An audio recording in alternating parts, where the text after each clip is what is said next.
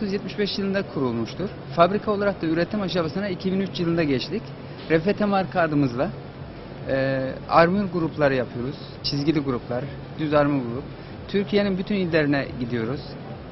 Ayrıca e, Rusya, e, Kazakistan, Ukrayna bu bölgelerde de satışlarımız var. Armür grubunda e, yaklaşık 150-200 desenimiz var.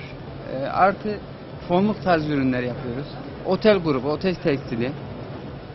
Yani Türkiye'deki e, diğer toptancıların kartela sınavlarına ürünler yapmaktayız. Markamız tescilli zaten. Onda bir sıkıntımız yok. E, ürünlerde de yani e, yapıyorlar. Bir ay sonra aynı ürünü piyasada farklı markalar altında görebiliyoruz.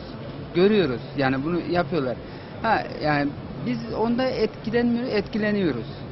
Etkileniyoruz. İsterseniz aynı ürünü e, ne diyeyim farklı fiyatlarla alabiliyorlar. Ya onda sıkıntı yaşıyoruz. Firmaların yapmaması gerekiyor aslında ama tabii yapıyor ister istemez.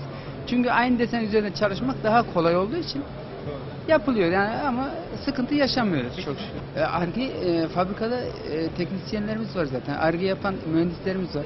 Bunlar bu Arge'de devamlı çalışıyor. Yani devamlı yeni ürün yapıyoruz.